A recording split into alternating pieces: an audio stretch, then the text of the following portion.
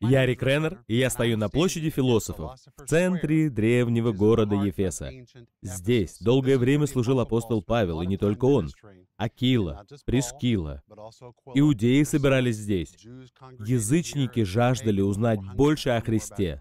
Я уверен, что здесь, на этом месте, Апостол Павел учил о действии Святого Духа, о служении Святого Духа. Язычники видели силу Божью. Возможно, у них были вопросы о силе Духа Святого, о том, как Он действует. И именно к церкви в Ефесе Павел написал столько удивительных истин о Святом Духе. Например, в первой главе послания к Ефесянам он говорит о печати Духа, в пятой — о наполнении Духом. Павел много рассказывал Ефесянам о служении и о действии Святого Духа, о наполнении силой Божьей. Нам нужна Божья сила. Если она была нужна им тогда, она нужна нам сегодня. Если им было необходимо исполнение Духом Святым, чтобы жить в победе для Иисуса, нам бесспорно нужно исполняться Духом Святым сегодня. Библия много говорит о том, как исполняться Святым Духом. Что это значит? Как продолжать им наполняться. И об этом я хочу поговорить с вами сегодня. Добро пожаловать на сегодняшнюю программу с Риком Реннером. У пастора Рика есть для вас послание, которое вдохновит вас, укрепит и снарядит важными знаниями и глубоким пониманием Божьего Слова. Я так рад, что вы сегодня смотрите нашу передачу, в которой мы продолжаем говорить о наполнении Святым Духом. И сегодня мы будем в особенности обсуждать языки, что это такое. Мы подойдем к вопросу говорения на языках логически. Я человек, который любит мыслить логически. Все должно быть логично. Когда я изучаю Писание, оно для меня имеет смысл. Сегодня мы поговорим о языках, что это такое. В частности, ответим на три вопроса. Первый, что такое языки? Второй, почему мы это делаем? Третий, какая от этого польза? Мы ответим на все три вопроса в сегодняшней программе. Хочу напомнить о нашем предложении одной из моих книг «Дух Святой и ты. Могущественный дуэт». Замечательная книга. Она рассказывает о всех качествах Святого Духа, о всем том, что Дух Святой хочет делать для нас. Ведь Он хочет сотрудничать с нами, а мы можем взаимодействовать с Ним. Это книга о том, как действовать в Божьей силе, узнать, как слышать и различать Его голос, эффективно молиться и твердо стоять в вере. Если у вас нет этой книги, закажите ее, эта книга укрепит вас в вере. Хочу зачитать из нее следующее, так как это непосредственно относится к тому, о чем я буду говорить сегодня. Здесь я пишу, много Многие, кто был воспитан в религиозных, консервативных церквях, были научены, что неправильно искать духовных даров. И меня так научили, возможно, вас так научили. Но если духовные дары от Бога, почему плохо их искать? Хороший вопрос. Если они действительно даны Богом как проявление Святого Духа, не должны ли мы о них ревновать? Важно понимать, что Павел никогда не порицал верующих за обилие духовных даров или за стремление к ним. Нужно заметить, что в первом послании к Коринфянам 14.1 Павел увещевает нас ревновать о духовных дарах. Он приказывает нам желать их. Слово «ревнуйте» передает сильное желание, заставляющее человека искать чего-то, пока не обретет, пока не получит. Горячее нетерпение что-то получить. Это не просто желание. Греческое слово подчеркнуто выражает то, что Павел хотел, очень хотел, чтобы у церкви было глубокое, сильное стремление переживать все больше и больше духовных проявлений.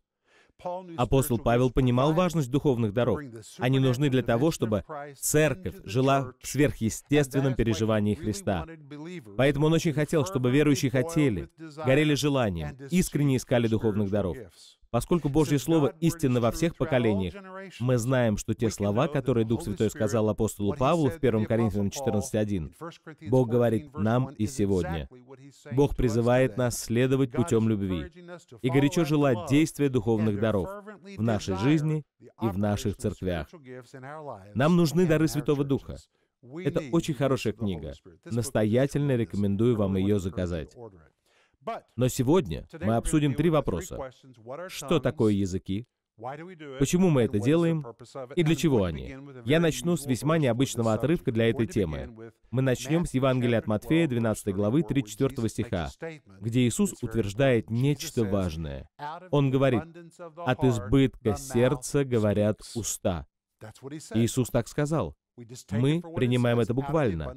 От избытка сердца говорят уста. Значит, чем вы наполнены, то и будет выходить из ваших уст. Что в сердце, чем оно наполнено, избыток найдет выход через уста. От избытка сердца говорят уста. То, чем вы полны, то и будет исходить из ваших уст. Чем вы наполнены, вы никогда не помешаете тому, чем вы наполнены, выйти из вас через ваши уста. Потому что Иисус сказал, от избытка сердца говорят уста. Это факт. Например, если вы хотите узнать, что у вас внутри, просто послушайте свою речь. Уста вас выдадут. Если хотите выяснить, что у вас в сердце, прислушайтесь к своим словам, потому что в устах избыток сердца. Или, когда говорите с человеком и действительно хотите понять, что у него в сердце, Помолчите и дайте ему высказаться. Уста его выдадут. В устах человека то, что переполняет сердце что в сердце, то и выйдет из уст. Я приведу примеры. Если вы переполнены страхом, о чем вы будете говорить? Вы будете произносить слова, выражающие боязнь, страх, ведь от избытка сердца говорят уста. Если вы полны страха, то из уст будет исходить страх. Если вы полны гнева, что будет выходить из ваших уст? В устах будет гнев. Злые слова, ведь от избытка сердца говорят уста. И если у вас внутри гнев, это проявится через уста. От избытка сердца говорят уста. Если вас наполняет обида, горечь, она проявится в словах, потому что от избытка сердца говорят уста. Если вы исполнены горечи и обиды, то и слова вы будете говорить горькие, наполненные обидой. Если вы наполнены неуверенностью, то она проявится в том, что вы говорите. Вы будете постоянно высказывать неуверенность, потому что что в сердце, то и на устах. Если вас наполняют сомнения и неверие, о чем вы будете говорить? Вы будете выражать сомнения и неверие, потому что от избытка сердца говорят уста. Чем вы наполнены, то и будет исходить из вас. Иисус сказал об этом в Матфея 12:34. От избытка сердца говорят уста. Это принцип. Это духовный факт, который невозможно опровергнуть, его невозможно отрицать, никто с этим не поспорит. Иисус ясно сказал, от избытка сердца говорят уста. Итак, что же происходит, когда вы наполнены Святым Духом? Мы уже видели, что если человек полон гнева, он будет выражать своими словами гнев. Если в сердце обида и горечь, он будет об этом говорить. Сомнение, он будет произносить слова сомнения. Когда переполняет неуверенность, ты будешь выражать свою неуверенность словами. Если горечь, то будут слова горечи. А что происходит, когда вы наполнены Святым Духом? Когда сердце наполнено Святым Духом, ведь Иисус сказал, от избытка сердца что? Говорят уста. Через уста выражается Дух человека. Когда вы наполнены Святым Духом, что будет исходить из ваших уст? Дух, слова Духа. Это мы видим в книге «Деяния апостолов». Мы говорили об этом в прошлой программе. Если вы не смотрели прошлую программу, пожалуйста, зайдите в архив, потому что мы говорили о закономерности в книге «Деяний». Как люди спасались, наполнялись Духом, получали крещение Духом и начинали говорить на языках. И в особенности во второй главе «Деяний», когда люди наполнялись Духом, их сердца наполнялись, они говорили на языках, было духовное проявление через уста они говорили слова Духа. Или в восьмой главе Деяний мы увидели, что, когда самаряне исполнили Святого Духа, что произошло? От избытка сердца они начали говорить на иных языках. Это начало выходить из их уст. В девятой главе Деяний мы увидели, что когда апостол Павел исполнился Святого Духа, что произошло? Он начал говорить на языках. В 10 главе Деяний мы увидели, что домашние Корнилия и язычники уверовали в Евангелие, спаслись и получили крещение Святым Духом. Он настолько переполнял их, невозможно было сдержаться. Слова Духа начали выходить из уст. Почему? Потому что от избытка сердца говорят уста. Они исполнились Духа и начали говорить слова Духа. Затем, в 19 главе Деяний, спустя 23 года, После Дня Пятидесятницы апостол Павел пришел в Ефес, нашел там группу людей, привел их к Христу, крестил в воде, затем возложил на них руки, и Библия ясно говорит, что они получили крещение Святым Духом. В каждом из этих случаев, по словам Библии, люди наполнялись. А когда наполнялись, это наполнение находило выход наружу, и Иисус сказал, выражением человеческого духа являются уста. Это естественно, логично. Чем наполнен ваш дух, то и будет выходить из ваших уст. Хочу напомнить, что события книги Деяний, которые мы вспоминали, охватывают 23 года. 23 года. И люди по-прежнему получали крещение Святым Духом и начинали говорить от избытка сердца. Когда Дух Святой наполнял, они говорили на языке Духа. Именно этому учит Библия. И это факт. Чем вы наполнены, то и будет исходить из ваших уст. И я сегодня хочу помочь вам понять, что такое говорение на языках. Мы немного отступим назад, и я расскажу то, что вам будет полезно. Я молюсь, чтобы это было для вас откровением. Иоанна 4 глава, 24 стих. Иисус сказал, «Бог есть Дух, и поклоняющиеся Ему должны поклоняться в Духе и истине». По словам Иисуса, Бог есть Дух. Это очень важно. Бог есть Дух. Но в первом послании Фессалоникийцам, 5 главе 23 стихе, мы читаем, что мы также есть Дух. Мы Дух, душа и тело. Но мы дух. И во 2 Коринфянам 5 главе 6-8 стихи Библия говорит, что в теле мы дома, но однажды, когда умрем, мы выйдем из тела и выдворимся у Господа. Это значит, то, что вы видите, это не настоящий я, это просто временный дом, в котором я живу. Настоящий я — это дух. Я — дух. Тело всего лишь мой дом. И все. Кстати, нам нужно заботиться о своих домах, о своих телах, о здоровье. Заботьтесь о своем теле, сбрасывайте лишний вес. Занимайтесь физкультурой. Занимайтесь своим жилищем, потому что мы живем в нем, и от этого зависит наша жизнь. Но настоящий я — это не тот, кого вы видите. Настоящий я внутри. Я помню, когда умер мой отец или отец Денис, мы были на похоронах, и именно на похоронах ты очень хорошо понимаешь, что тело в гробу — это всего лишь пустая оболочка. Настоящего человека там уже нет. Я смотрел на отца Денис, на моего отца и говорил, их там нет. Их здесь уже нет. А где же они? Они были у Господа. Тело всего лишь оболочка, в котором они жили. То тело, в котором я или в котором вы, это оболочки. Настоящий я, настоящий вы — это дух. Я создан по образу Бога. Бог — дух, и я — дух. Позвольте спросить, на каком языке говорит Дух? Но если вы англичанин, на каком языке вы говорите? На английском. Если вы русский, я живу в России. На каком языке вы говорите? Для русских, естественно, говорить по-русски. Если вы испанец, на каком языке вы будете говорить? Испанцы говорят по-испански. Если вы немец, на каком языке вы говорите? Немцы говорят на немецком языке. Что ж, если американцы, англичане говорят по-английски, а русские по-русски, испанцы по-испански, немцы по-немецки, то на каком языке говорит Дух? Дух говорит на языке Духа. На языке Духа. Бог есть Дух. И Он говорит на языке Духа. Мы — Дух. И наш Дух желает говорить с Богом на духовном языке. Наш Дух когда мы придем на небеса, мы там не будем говорить на английском или на каком-то земном языке. На небе нет английского. И Дух не будет говорить на английском, на русском, на немецком, на испанском. Ваш дух не будет говорить на каком-то земном языке на небесах. Ваш дух — это дух. И он будет говорить на языке духа. И когда мы молимся на языках, когда мы молимся в духе, то наш дух буквально говорит с Богом. Это реальный духовный язык, заменяющий любой человеческий язык. Когда я по-настоящему это понял, это полностью изменило мое отношение к молитве на языках. Молитва на языках — это не просто невнятные звуки. Это не просто какой-то шум или бормотание. Это язык человеческого духа. Вот что это. И мы не способны это делать, говорить на языках, говорить на языке духа, когда мы не наполнены, когда мы не крещены Святым Духом.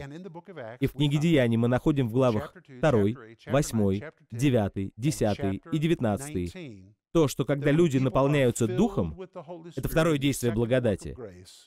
Когда люди получают крещение Святым Духом, они чудесным образом начинают говорить на языке Духа. От избытка сердца говорят уста. Люди, наполненные Святым Духом. В книге Деяний об этом говорится. Они сразу начинают говорить на языках. И я называю это говорением на духовном языке. Молитва на языках — это язык Духа. Бог есть Дух. Мы с вами — Дух. И когда мы говорим на языке Духа или на языках, мы говорим на духовном языке. Молясь на языках, говорясь на языках, мы напрямую общаемся с Богом. Это не означает, что мы не должны молиться на родном языке. Конечно, надо молиться на родном языке. Молитва на родном языке назидает наш ум, помогает различить волю Божью. Но когда мы молимся на языках, мы находимся на прямой линии общения с Богом, от духа к духу. В этом одна из причин, почему дьявол настолько против молитвы на языках. Он не хочет, чтобы вы молились на языках, так как дьявол понимает, что это форма прямого общения с Богом. Я люблю молиться на родном языке, но мой родной язык ограничен, у моего духа нет ограничений. Нет скудости словарного запаса. Дух может выразить то, что ум или земной язык не могут выразить.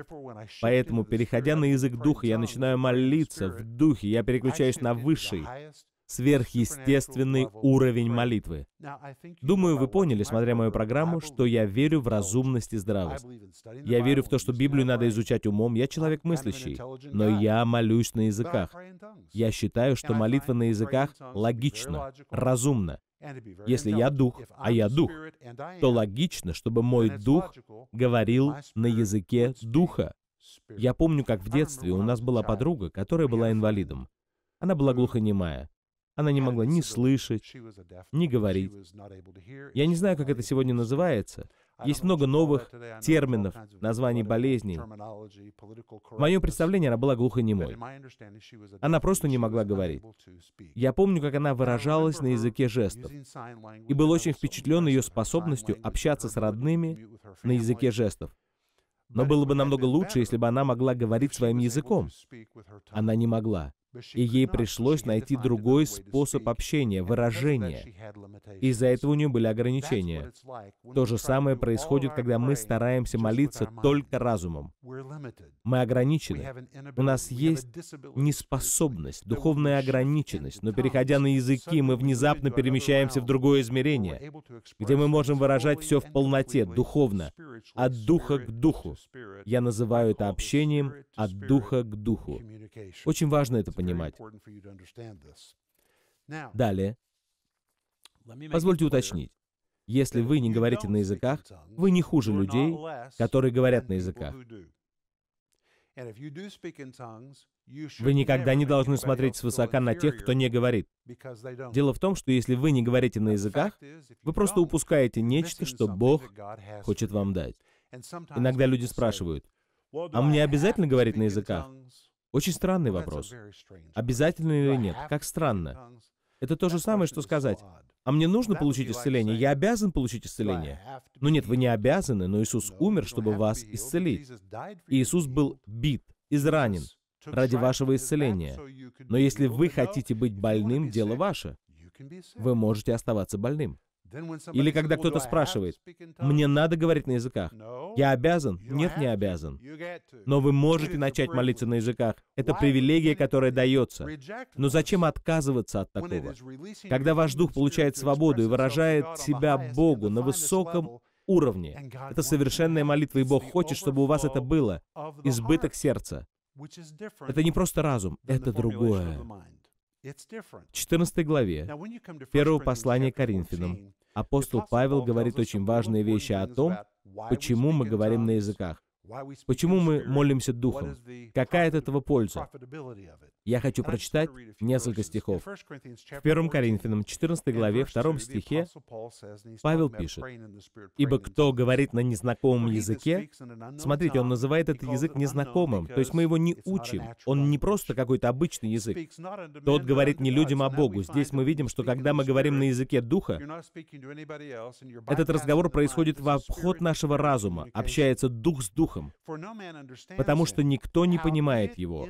Он тайны говорит Духом. Какая польза от говорения на языках? Очень большая польза. Когда вы получили спасение, Дух Святой вошел в вас. Это происходит с каждым рожденным свыше верующим. И когда Дух Святой вошел в вас, Он принес внутрь вас Божий план, Божий замысел для вашей жизни. Божий план для вашей жизни уже здесь. Он внутри вас прямо сейчас. Он здесь, внутри вашего духа. Проблема в том, что голова не знает этого плана. Этот план в вашем сердце, но не в голове. Как же сделать так, чтобы этот план Божий перешел из сердца в разум? Ведь нужно, чтобы этот план был в голове, чтобы знать, как действовать по нему. И ответ здесь, в этом стихе. Библия говорит, что когда вы молитесь Духом, вы говорите тайны. Когда вы молитесь на языках, вы буквально открываете тайны, план, Божью волю, которая сокрыта в Духе. Молясь на языках, вы начинаете говорить божественные тайны. Вы их забираете из своего Духа и перемещаете Божью волю из Духа в разум. И вы начинаете понимать. Понимание — это то, что вам нужно. Понять Божий замысел. Молитва на языках перемещает информацию из духа в разум. Именно об этом говорит Павел в 1 Коринфянам 14.2. И потом в 4 стихе он пишет, «Кто говорит на незнакомом языке, незнакомым, потому что он незнаком по природе. Тот назидает себя». Слово «назидает» в греческом это архитектурный термин, который означает, что архитектор или строитель хочет увеличить размеры здания. У него есть план, проект, и он начинает осуществлять этот план. Вот что значит слово «назидает».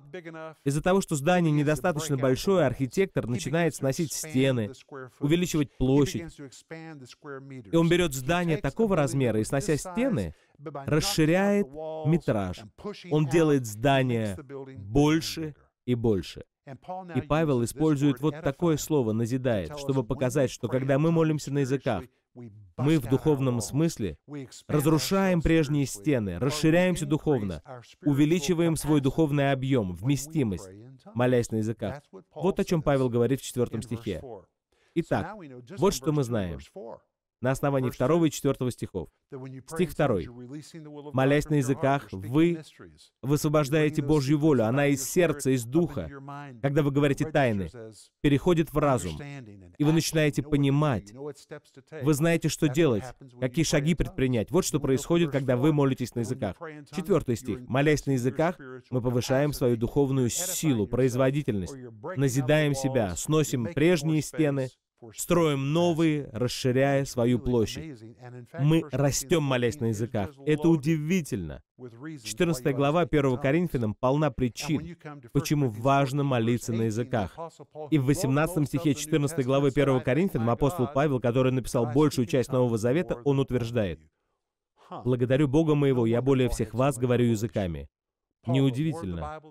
Павлу было открыто так много, он написал большую часть посланий Нового Завета.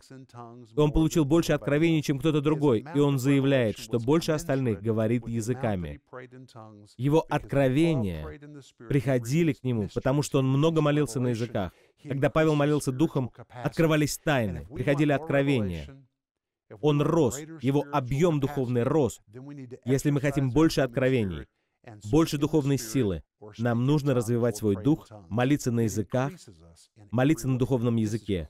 Мы будем развиваться во всем. Библия учит об этом. Матфея 12:34. От избытка сердца говорят уста. Это факт. Когда вы наполнены духом, дух будет исходить из ваших уст, и вы будете говорить на языках. Наше время истекло, но через мгновение я вернусь и помолюсь за вас. Вы уже познали личность и силу Святого Духа? Дух, посланный нам от Отца, есть Дух-утешитель, учитель и наставник. Но на протяжении многих веков его личность оставалась недопонятой. Его неверно представляли и неверно толковали. Вы можете облечься силой Духа Святого и познать его лично, прочитав книгу Рика Реннера «Дух Святой и ты. Могущественный дуэт». Развивая глубокие взаимоотношения со Святым Духом, вы станете могущественным дуэтом, чтобы исполнить ваше призвание. Он наполнит вашу жизнь миром и научит исполняться радости – из этой воодушевляющей книги вы узнаете, как действовать в Божьей силе, как слышать и различать Его голос, эффективно молиться и твердо стоять в вере. Прочитав эту книгу, вы узнаете, почему сверхъестественные дары должны быть неотъемлемой частью вашей повседневной жизни. Вы откроете могущественное действие Святого Духа в вашей жизни и жизни ваших близких. Не пропустить это специальное предложение «Дух Святой и ты. Могущественный дуэт». Прямо сейчас зайдите на сайт iGency.org и скачайте эту книгу бесплатно.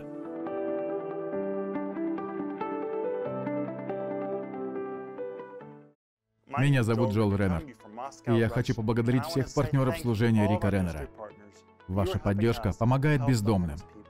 В мире бесчетное множество людей без крова. Жизнь и неправильное решение многим нанесли тяжелый удар. Часто, прежде чем получить шанс рассказать людям о Христе, нужно восполнить их насущные потребности. Это то, что мы делаем.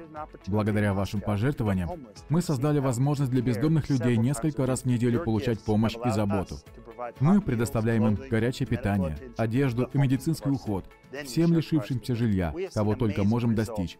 Затем рассказываем им о Христе. Благодаря этому проекту мы увидели потрясающие результаты и хотим сделать еще больше. Хотите ли вы стать нашим партнером, чтобы мы могли продолжать достигать бездомных?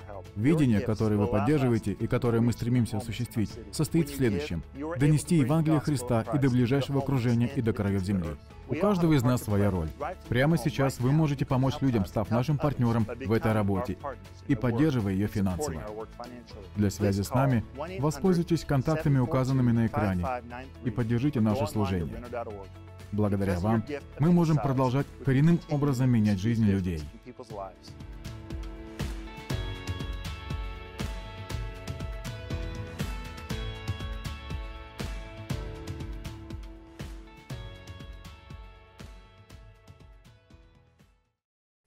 Мне было очень приятно беседовать с вами сегодня о говорении в духе или молитве на языках. Бог хочет этого для вас. Если вы никогда этого не делали, вы можете сделать это сегодня, просто сказав, «Да, Дух Святой, я хочу этого». Вы наполнитесь Святым Духом и от избытка сердца начнете молиться в Духе. Или если вы уже молитесь в Духе, но последнее время этого не делали, откройте уста и говорите от избытка сердца. Вы начнете в молитве произносить тайны Божьи своего Духа. Вы увеличите свою духовную емкость. Это мощно. Вот почему Бог хочет, чтобы вы это делали. И почему дьявол не хочет, чтобы вы это делали. И почему ваша плоть не хочет, чтобы вы это делали. Делайте это, и вы перейдете на новый уровень. Хочу напомнить вам, что я предлагаю вам книгу, которая называется «Дух Святой и Ты. Могущественный дуэт». В ней я делюсь. Зачем нужны дары Святого Духа? Нам нужны дары Святого Духа. Это настолько прекрасная книга. И я хочу, чтобы она у вас была. Вы можете зайти на наш сайт ignc.org и получить эту книгу. Я прочитаю вам лишь один отрывок. Послушайте. Вы имеете доступ к бесконечным богатствам Духа Святого. Для нужды нужды данного момента. В вашем распоряжении гораздо больше, чем то, что вы уже приняли. И чтобы начать, нужно всего лишь сказать «Да, Святой Дух». Подумайте, какую помощь может вам дать утешитель в разнообразных сложных ситуациях. Спросите Господа, что вам нужно изменить в этих обстоятельствах, чтобы вы смогли принять все необходимое от Духа Святого. Эта книга написана, чтобы помочь вам принять то, что Дух Святой хочет вам дать. Замечательная книга. Отец, во имя Иисуса, благодарю Тебя за возможность нам быть сегодня вместе. Я благословляю моего друга, провозглашаю избыток помазания Духа. Во имя Иисуса. Аминь. Спасибо, что были с нами. И помните Екклесиаста 8.4, где Слово Царя, там власть. Увидимся в следующей программе. Спасибо, что посмотрели эту телепрограмму. Пастор Рик с нетерпением ждет встречи с вами на следующей неделе. Чтобы получить дополнительную информацию о материалах служения или узнать, как стать партнером служения, пожалуйста, свяжитесь с нами по контактам, которые видите сейчас на экране, а также присоединяйтесь к пастору Рику в социальных сетях.